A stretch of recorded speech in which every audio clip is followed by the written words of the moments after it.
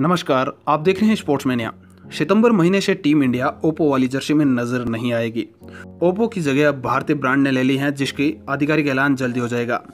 भारतीय cricket control board यानी BCCI और चाइनीज़ कंपनी ओप्पो के बीच हुआ करार समाप्त होने से पहले ही समाप्त हो गया। ओप्पो ने घाटे से बचने के लिए टीम इंडिया के टाइटल स्पॉन्सर के राइट भारतीय कंपनी को शेयर कर दिए। ओप्पो की जगह अब भारतीय टीम की जर्सी पर बेंगलुरु बेस्ड एजुकेशन टेक्नोलॉजी वाली कंपनी बाइजू नज़र आएगी।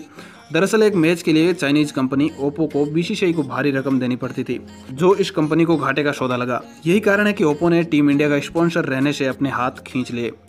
मार्च 2017 में लगी बोली में ओप्पो ने वीवो को बोली में पछाड़कर एक करोड़ में पाँच साल के लिए टीम इंडिया के मेन स्पॉन्सर के राइट हासिल किए थे।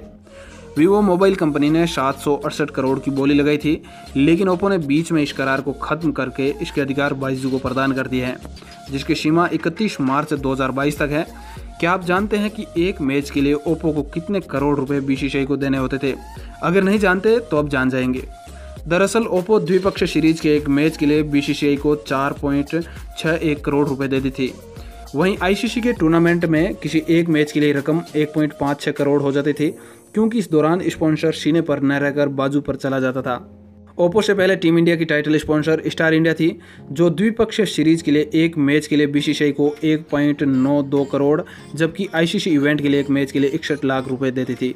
चूँकि अब राइट्स बाइजू के पास हैं तो इस कंपनी को बीसीसीआई को द्विपक्षीय सीरीज़ और आईसीसी के टूर्नामेंट के एक एक मैच के लिए ओप्पो के बराबर रकम चुकानी होगी।